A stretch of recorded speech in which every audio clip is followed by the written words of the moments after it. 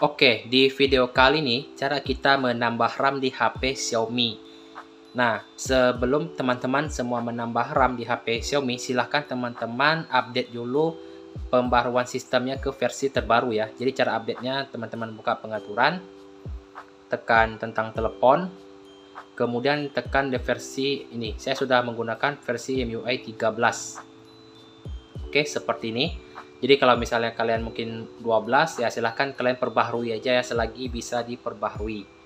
Karena takutnya kalau tidak kalian perbaharui takutnya tidak muncul fitur penambahan RAM. Oke, apabila teman-teman sudah memperbaharui sistem ini, teman-teman pergi saja ke bagian bawah ya. Ini masih di bagian lobby pengaturan.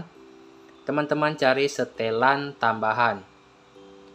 Nah, setelah seperti ini, teman-teman cari ke bagian aksesibilitas. Di bawah sini ada penambahan memori.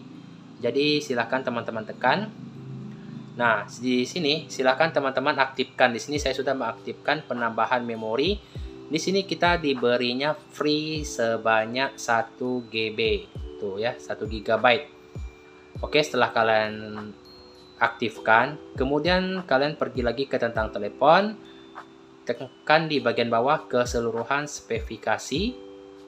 Dan di sini bisa teman lihat di sini RAM kita sudah bertambah ya 4 tambah 1 GB itu ya. Si ini ya bisa teman-teman lihat di sini.